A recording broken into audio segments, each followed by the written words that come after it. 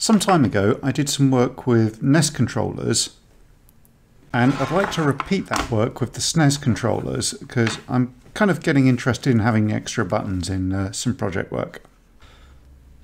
Now for the NES I made up this cable for doing some initial test work. Now these connectors are kind of oddly bulky and the SNES ones are a bit straighter.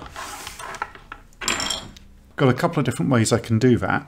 I bought one of these connectors. Now that works but the pin separation here doesn't match like breadboard layout or, or strip board so that'd be great for a custom PCB but uh, it's not a lot of use until then. So I'm going to use the same approach and mutilate a extension cable. So this should allow me to be able to make a simple cable that connects all the wires up. Right, let's see what we've got inside here.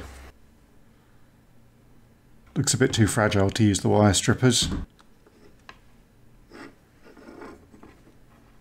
Now we've got five wires inside here, so the extra two connectors in here for special peripherals are not extended.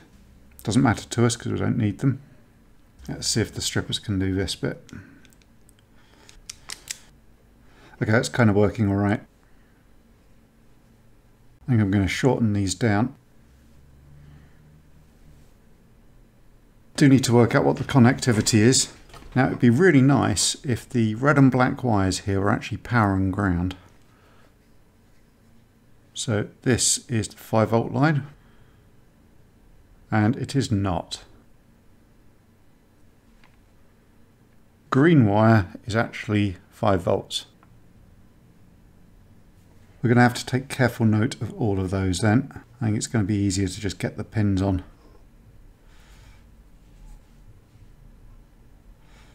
Not sure what it is, but all the pins in this batch were a bit spread out. I have to squeeze them slightly with pliers to fit the crimping tool properly. The trick with these is to get just enough of the insulation in the end bit for a good grip without interfering with the wire bit.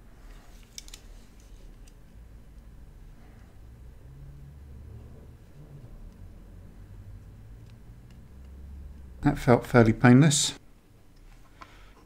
Green was the first pin for 5 volts.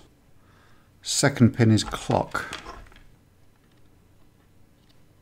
Yellow. Third pin is latch. Just the white one. Now just the naming of these confirms what I had been told that uh, the function of these is very similar to the NES controllers. So then the fourth pin along is data. 50-50 chance on this. That is the red one.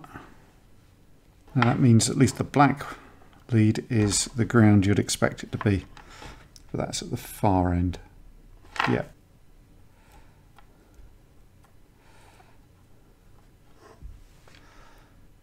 Okay, there we have it. Nice little uh, SNES to Dupont adapter.